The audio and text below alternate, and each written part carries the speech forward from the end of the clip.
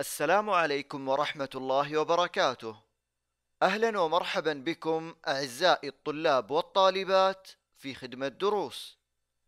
لدروس المرحلة المتوسطة الصف الأول المتوسط الفصل الدراسي الثاني لمادة الرياضيات موضوع درسنا اليوم بعنوان الأشكال المتشابهة. الجزء الثاني. سنتعلم اليوم بمشيئة الله تحديد الأشكال المتشابهة وإيجاد الطول المجهول في شكلين متشابهين. كيف أحدد الأشكال المتشابهة والأشكال غير المتشابهة؟ وكيف أوجد الطول المجهول في شكلين متشابهين؟ هذا ما سوف يتم شرحه في هذا الدرس. المثال الأول أي المثلثات الآتية يشابه المثلث كاف ميم لام؟ لدينا في المثلث كاف ميم لام طول الضلع كاف ميم ستة وميم لام اثنى عشر لتحديد أي المثلثات يشابه المثلث كاف ميم لام لابد من إيجاد نسب الأضلاع المتناظرة وتحديد أي المثلثات يعطي نسبة ثابتة.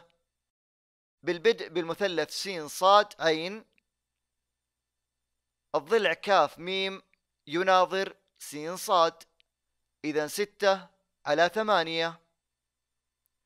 بالتبسيط وذلك بقسمة البسط والمقام على اثنان ثلاثة على أربعة. ميم لام يناظر صاد عين إذا اثنى عشر على عشرين. بالتبسيط وذلك بقسمة البسط والمقام على أربعة ثلاثة على خمسة. لاحظ أن نسب الأضلاع المتناظرة غير ثابتة. بذلك فإن المثلث س صاد عين لا يشابه المثلث كاف ميم لام. بالانتقال للمثلث ألف جيم باء كاف ميم يناظر ألف جيم. إذا كاف ميم على ألف جيم ستة على أربعة. بالتبسيط وذلك بقسمة البسط والمقام على اثنان ثلاثة على اثنان. ميم لام يناظر جيم باء اثنى عشر على اثنى عشر. ويساوي واحد. نسب الأضلاع المتناظرة غير ثابتة.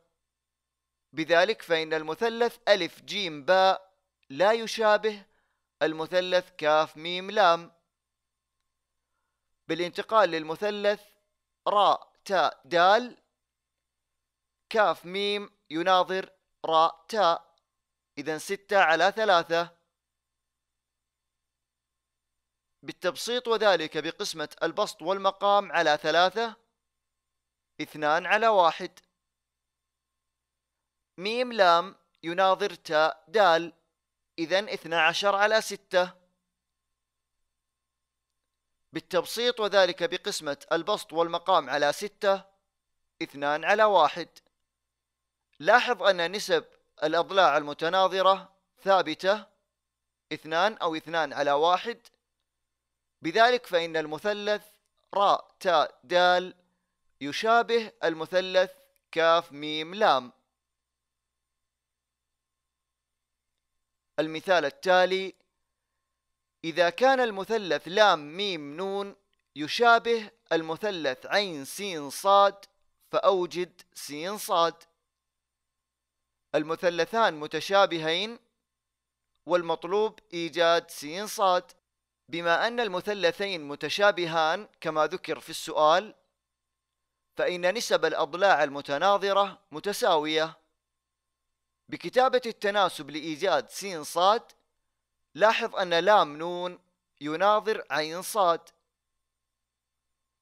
وميم نون يناظر س صاد. إذا بكتابة التناسب لام نون على عين صاد. ستة على ثمانية عشر وميم نون أربعة على المجهول لدينا وهو س صاد. إذا ستة على ثمانية عشر يساوي أربعة على س صاد. بالحل للتناسب بالضرب التبادلي ستة ضرب س صاد وثمانية عشر ضرب أربعة. ثمانية عشر ضرب أربعة تساوي اثنان وسبعون. لإيجاد س صاد تتم عملية قسمة الطرفين على ستة. إذا س صاد تساوي اثنى عشر المثال التالي إذا كان المثلث ألف باء جيم يشابه المثلث واو هاء دال فأوجد ألف جيم. مثلثان متشابهان مع ملاحظة اختلاف اتجاه المثلث. لدينا الزاوية القائمة ألف تناظر الزاوية القائمة واو. إذا الضلع ألف باء يناظر واو هاء والضلع ألف جيم يناظر واو دال. فبما أن المثلثين متشابهان كما ذكر في السؤال فإن نسب الأضلاع المتناظرة متساوية بكتابة التناسب لإيجاد ألف جيم ألف باء على واو هاء إذا ثمانية وعشرون على أربعة وألف جيم وهو المجهول على المناظر له وهو واو دال ثلاثة. بالضرب التبادلي ثمانية وعشرون ضرب ثلاثة وأربعة ضرب ألف جيم. ناتج الضرب لثمانية وعشرون ضرب ثلاثة. كم يساوي يا أبطال؟ أحسنتم. أربعة وثمانون. لإيجاد قيمة الألف جيم ما هي الخطوة التالية؟ صحيح. قسمة الطرفين على أربعة وهو معامل ألف جيم. أربعة وثمانون قسمة أربعة. إذا ألف جيم يساوي واحد وعشرون. ملاحظة يستعمل القياس غير المباشر أشكالا متشابهة لإيجاد قياسات الأشياء التي يصعب قياسها مباشرة. مثال مسألة ينابيع في الصورة ينبوع يتدفق منه الماء إلى ارتفاع 18 مترا فيصنع ظلا طوله 13 متر. ما ارتفاع شجرة قريبة منه تصنع ظلا طوله 19 متر. على افتراض أن المثلثين متشابهان. لدينا ينبوع الماء بارتفاع 18 متر ظله 13 متر الشجرة بطول مجهول س ظل الشجرة 19 متر. بكتابة التناسب بافتراض أن المثلثين متشابهان إذا س على 19 ارتفاع الشجرة على ظلها يساوي ثمانية عشر على ثلاثة عشر ارتفاع الينبوع على ظل الينبوع. لاحظ أن الارتفاع في البسط الظل في المقام بالضرب التبادلي س ضرب ثلاثة عشر وتسعة عشر ضرب ثمانية عشر ثلاثة عشر س وناتج الضرب لثمانية عشر ضرب تسعة عشر يساوي ثلاثمائة واثنان وأربعون ما هي الخطوة التالية لإيجاد قيمة س التي تمثل ارتفاع الشجرة؟ نعم بارك الله فيك. قسمة الطرفين على ثلاثة عشر وناتج ذلك يساوي ستة وعشرون وثلاثة من عشرة. إذا طول الشجرة يساوي ستة وعشرون وثلاثة من عشرة متر. المثال التالي مسألة صورة. يريد أحمد تصغير صورة بعداها أربعة سنتيمتر في خمسة سنتيمتر بحيث تناسب موقعا في مجلة عرضه 2 سنتيمتر. فما طول الصورة المصغرة؟ الصورة الأصلية لدينا عرضها أربع سنتيمترات وطولها خمسة سنتيمترات. موقع الصورة في المجلة بعرض اثنان سنتيمتر. طول الصورة في المجلة س بما أن الصورتين متشابهتين إذا بكتابة التناسب س على اثنان للصورة المصغرة تساوي خمسة على أربعة للصورة الأصلية بالضرب التبادلي س ضرب أربعة واثنان ضرب خمسة أربعة س وتساوي عشرة. بقسمة الطرفين على أربعة فإن س تساوي اثنان ونصف. ويعني ذلك أن طول الصورة المصغرة يساوي اثنان ونصف سنتيمتر. تقويم اختر الإجابة الصحيحة.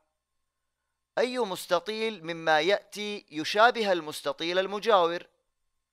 لدينا المستطيل واحد سنتيمتر اثنان سنتيمتر.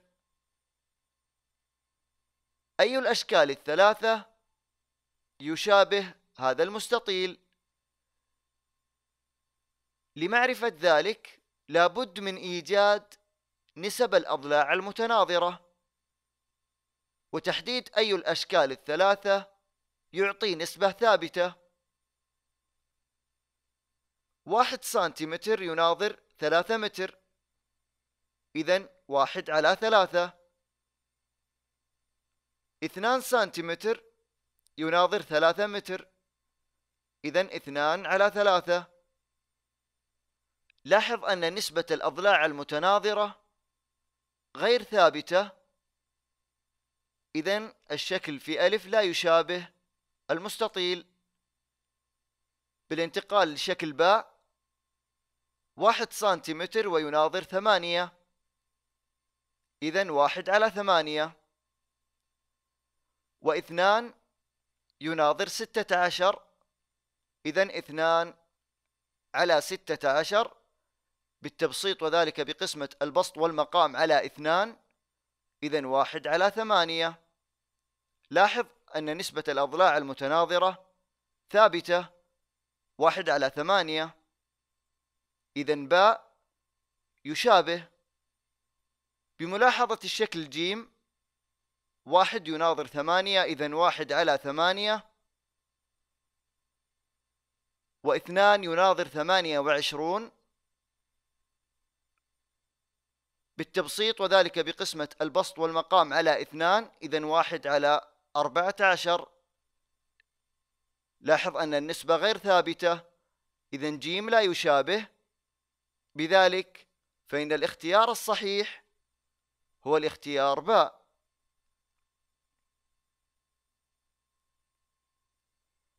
تقويم مسألة جبر أوجد قيمة س في الأشكال المتشابهة التالية. فاصل ابدأ الحل. بما أن الشكلين متشابهان فإن نسبة الأضلاع المتناظرة متساوية. بكتابة تناسب لإيجاد س لاحظ أن ج د يناظر كاف هاء وباء جيم يناظر قاف كاف. إذا باء جيم على قاف كاف. اثنى عشر على أربعة وعشرون. وجيم دال بعشرة على سين. بالضرب التبادلي اثنى عشر ضرب سين وأربعة وعشرون ضرب عشرة. اثنى عشر سين وتساوي مئتان وأربعين. بقسمة الطرفين على معامل السين إذا قسمة الطرفين على اثنى عشر. السين كم تساوي يا أبطال؟ أحسنتم. نعم عشرين. تقويم مسألة ظلال. طول ظل سارية علم 600 سنتيمتر وفي الوقت نفسه طول ظل إبراهيم 150 سنتيمتر. فإذا كان طول إبراهيم 180 سنتيمتر فما ارتفاع سارية العلم إذا افترضنا أن المثلثين متشابهان. فاصل ابدأ الحل. بملاحظة ارتفاع إبراهيم وظل إبراهيم وارتفاع السارية وهو المجهول وظل السارية. بما أن المثلثين متشابهان إذا نسبة الأضلاع المتناظرة متساوية. فبكتابة التناسب س على 600 وهو ارتفاع السارية على الظل ومئة وثمانين على مئة وخمسين. بالضرب التبادلي س ضرب مئة وخمسين وستمائة ضرب مئة وثمانين مئة وخمسين س في الطرف الأيمن ستمائة ضرب مئة وثمانين وتساوي مئة وثمانية آلاف. بقسمة الطرفين على مئة وخمسين فإن س تساوي 720 ويعني ذلك أن ارتفاع سارية العلم تساوي 720 سنتيمتر. تعلمنا اليوم درس الأشكال المتشابهة وتم شرح طريقة تحديد الأشكال المتشابهة وكذلك إيجاد القياس المجهول وأيضا القياس غير المباشر. شاكر ومقدر لكم متابعتكم متمنيا لكم دوام التوفيق والنجاح وإلى اللقاء في دروس قادمة بإذن الله.